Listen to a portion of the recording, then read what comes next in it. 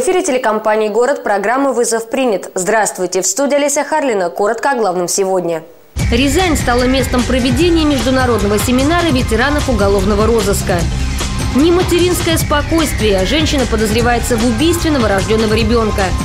Что такое геномная регистрация, как проходит эта процедура и какие преимущества дает спецреп из лаборатории УМВД. Начнем с хорошей новости. Три дня Рязань была гостеприимной хозяйкой для почетных гостей. Лучшие сотрудники органов полиции России и стран СНГ приехали на международный семинар руководителей ветеранских организаций служб уголовного розыска. Представители 40 регионов от Ямала до Москвы, а также из Беларуси, Украины, Молдовы, Азербайджана и Казахстана приехали поделиться опытом и воспоминаниями. Некоторые преодолели тысячу километров, чтобы лично сказать «Запись трудовой книжки – только формальность». Поделиться опытом с коллегами приехал и человек-легенда советского УГРО, генерал-полковник внутренней службы, помощник министра внутренних дел России Иван Шилов. Руководители следственных отделов Рязанской области подвели итоги очередного полугодия. Пугать цифрами смысла нет. Одни показатели ниже, другие выше. Общественность за высокими цифрами видит показатели работы сотрудников. Мы, журналисты, прежде всего, рост преступлений. С наибольшей нагрузкой работали следователи Кораблинского межрайонного следственного отдела, в производстве которых находилось по 6,8 дела на одного следователя, Касимовского МСО 5,9 дела, Рязанского МСО 5 дел – Московском МСО города Рязани, Савсовском, Михайловском межрайонных следственных отделах данный показатель сегодня, к сожалению, ниже среднеобластных. Рязанский МСО в числе тех, с кем наша программа работает плотнее всего. Напомню, это четыре подведомственных муниципальных района – Рязанский, Рыбновский, Старожиловский и Спасский. Количество убийств на этой территории увеличилось на 7,7%. За истекший период 2013 года, то есть за первое полугодие, следует отметить э, увеличение зарегистрированных преступлений на подведомственной территории, то есть с 502 в первом полугодии 2012 года до 603 в первом полугодии 2013 года. То есть в целом увеличение произошло на 16,8%. Также следует отметить, что в целом по Рязанской области наблюдается увеличение тяжких и особо тяжких преступлений на 4%. Что касается деятельности Рязанского межрайонного следственного отдела, то в трех из четырех районов также отмечается увеличение по указанным категориям преступлений. Это Рязанский район, Рыбновский район и Сторожиловский район. В указанных районах, соответственно, на 25%, на 69% и 37% Соответственно, каждому из перечисленных районов произошло увеличение по тяжким и особо тяжким преступлениям. Влияет ли география на количество и качество преступлений, сказать трудно. Скорее, это социальный фактор. Надо отдать должное. В этом полугодии в Рязанском и Рыбновском районах убийств не совершалось. А вот в двух других, напротив, отмеченных рост.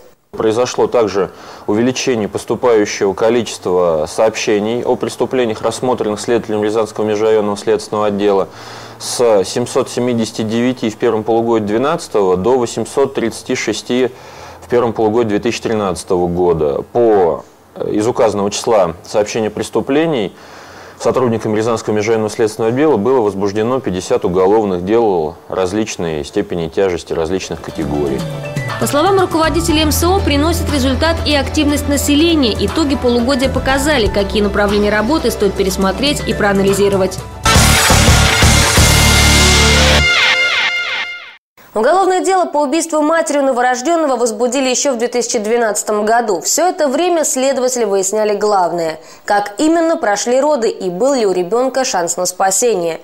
Так называемая мамаша, которая, кстати, лишена родительских прав в отношении двоих старших детей, надеялась, что и на этот раз малыша отберет государство, но ребенок не получил и такого права на существование. К ней приходили, и глава администрации к ней приходил, и к ней приходили тот же самый акушер, и местный фельдшер, и врачи уговаривали, чтобы она встала на учет по беременности, так как имеются опасения за жизнь ребенка. Она отрицала факт беременности своей.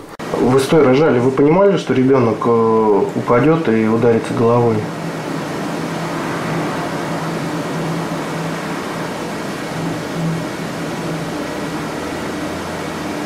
Наверное, да. Может, да. Это так и получилось или нет? Да, так и вышло. Было установлено, что ребенок родился живорожденным. При этом ориентировочная продолжительность жизни составляла до трех часов. Вот. Э, сама обвиняемая отрицала факт того, что ребенок родился живой, поясняя, что ребенок родился мертвый, не кричал, не дышал, признаков жизни никаких не подавал. На лице задержанной то слезы, то ухмылка. Никаких материнских чувств нет и в помине, судя по таким показаниям. Она даже не проверила пульс малыша, а вот подруге рассказала совсем другие подробности. Родила ребенка. Живого? Живого. Он ей не нужен был. Она его укутала сначала какой-то кофты или что-то. Ребенок кричал при этом? Кричал. Ага. Ну, ей надоело, она подушкой голову укрыла и двумя руками удержала. Не знаю, сколько он там плакал, сколько кричал. То есть по времени не знаете, не говорили? Об этом почему никуда никому не рассказали, не сообщили милицию, полицию? А мне охота тоже быть следующей. Не, ну в плане, она вам, вы как пояснили, то, что она как бы сказала вам, попросила вас никому не рассказывать, так? Ну, и пригрозила то, что будет то же самое, что с ребенком. Да, то же самое. Оснований не доверять угрозам не было, говорит свидетель. Женщина уже была судима за причинение тяжкого вреда здоровью, причем мужчине. Кстати, максимальное наказание за убийство новорожденного в России всего 5 лет. И не каждая такая мамаша получает реальный срок. Условное материнство – условное наказание. Любовь, конечно, кнутом не привьешь, но уважение к чужой жизни – вполне. Совсем недавно в России начали применять геномную регистрацию осужденных за тяжкие преступления в целях идентификации личности. Несмотря на то, что правоохранительные органы многих стран мира уже используют ее на законодательной основе в своей работе, у нас к такой процедуре до сих пор относятся настороженно – все боятся обидеть недоверием тех, кому по большому счету глубоко наплевать на своды и законы. И это при том, что в настоящее время база генетических данных создана уже более чем в 30 европейских странах, а также в целом ряде других стран мира – США, Новая Зеландия, Австралия и так далее. И там заключенные принимают это как должное, не пытаясь качать свои права и ссылаться на их нарушения. В Рязани тоже есть удивительная, на взгляд постороннего человека, лаборатория экспертно-криминалистического центра УМВД. Увидеть своими глазами, как сравнивают биологические данные и исследуют ДНК, удается немногим журналистам. Именно специалисты таких лабораторий дают следователям самые главные ответы, помогающие восстановить картину происшествия – кто, когда и как совершил преступление. Да, сейчас очень много у нас работы, потому что наша лаборатория обслуживает не только Рязанскую область, но и в том числе Владимирскую область. Это раз. Во-вторых, э, в связи с тем, что началась реализация закона о генетической регистрации в Российской Федерации, работы значительно нам прибавилось, потому что началось типирование лиц осужденных, отбывающих наказание за совершение тяжких, особо тяжких преступлений и преступлений против половой неприкосновенности. По утверждению специалистов, любая частичка человеческого тела и в первую очередь кровь содержит неповторимый код ДНК, который под своим персональным номером будет храниться на протяжении многих лет. С этого момента человек может поменять внешность, паспортные данные, но в любом случае будет опознан с помощью геномной регистрации – Теперь у сотрудников правоохранительных структур появляется реальная возможность оперативно идентифицировать личность преступника, оставившего на месте злодеяния улики. Например, слюну, волос, потожировые выделения, не говоря уже о каплях крови. Оборудование э, американского производства.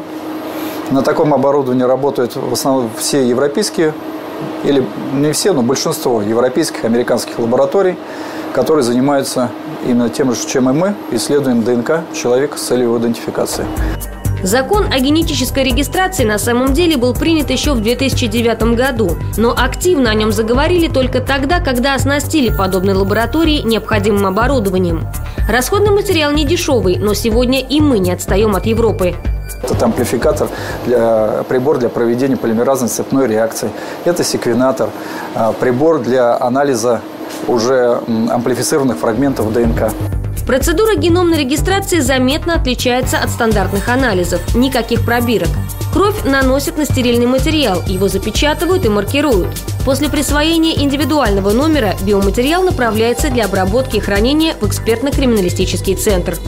Вот эти образцы вот, лиц осужденных прибывают вот на таких вот, отбираются на такие вот FTA-карты на которых есть образец крови. Тут, соответственно, персональные данные этого человека и э, уникальный номер, который кодирует через которую кодируется информация. А вот это вот оборудование, оно позволяет нам а, в автоматизированной системе, с одной стороны, э, через баркод э, закодировать данные об этом человеке, а во-вторых, э, вот этот вот робот, он позволяет сделать, отобрать в автоматическом режиме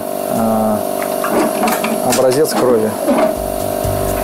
По словам специалистов, геномная информация будет храниться до установления факта смерти осужденных. А если таковые сведения по каким-то причинам отсутствуют, до даты, когда им исполнилось бы 100 лет. Вопрос генетической регистрации делится на два главных подраздела. С одной стороны, это регистрация генетической информации следов биологических происхождений, изъятых с мест происшествия. Понятно, что существует какой-то объем э, преступлений, на настоящий момент не раскрытых, но на которых, э, с которых изъяты следы биологического происхождения.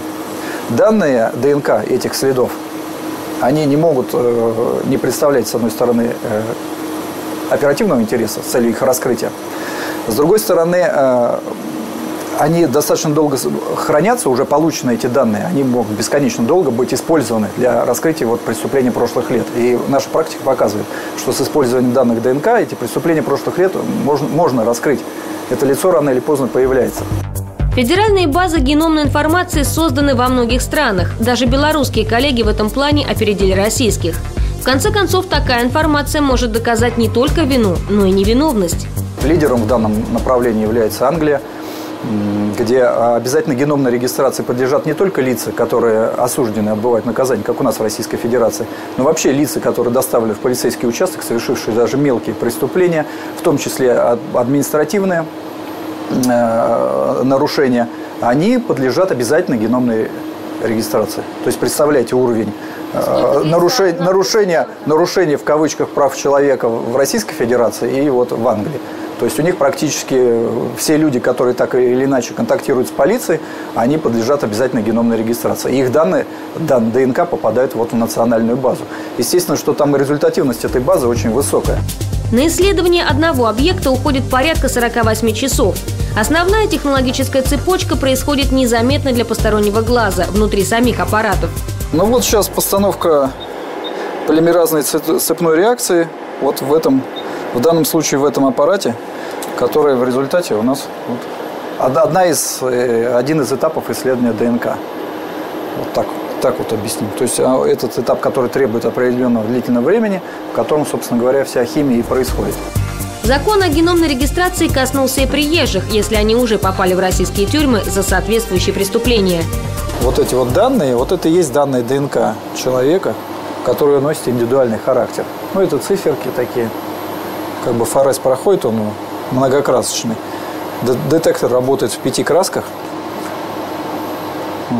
На экране сейчас четыре краски отражается. Как биологическая, эта лаборатория работает с 1997 года. Сейчас она представляет собой семь помещений, а часть работы выполняет автоматическое роботизированное оборудование. Но главным ресурсом все равно остаются люди, специалисты, без которых даже самые лучшие машины не принесут пользы. Кстати, работа у них частенько лишена романтики. Можно увидеть и такую картину. Когда обнаружен неопознанный труп, документов чаще всего при нем никаких не имеется. Самый легкий способ установить личность – это произвести дактилоскопию и проверить по базе папиллон на, на наличие совпадения отпечатков пальцев. При сильных гнилостных изменениях отдактилоскопировать э, не представляется возможным, но после специальной обработки э, получаются достаточно приличные отпечатки пальцев, которые посредством э, прогона по базе папиллон нередко дают совпадение, и неопознанный труп становится опознанным. Не знаю, как вам, а мне после посещения такой лаборатории пришла только одна мысль. Полезно позволять иногда обычным людям заглядывать именно на полицейскую кухню. Посмотреть, как люди работают и что дают результаты их работы. Мы не хуже Европы, отстаем, пожалуй, только в одном – в прямолинейности. Боимся называть отъявленных негодяев преступниками. А зря. Будут знать о неотвратимости наказания, лишний раз подумают. За экскурсию спасибо. На сегодня это все новости. Берегите себя. Увидимся через неделю.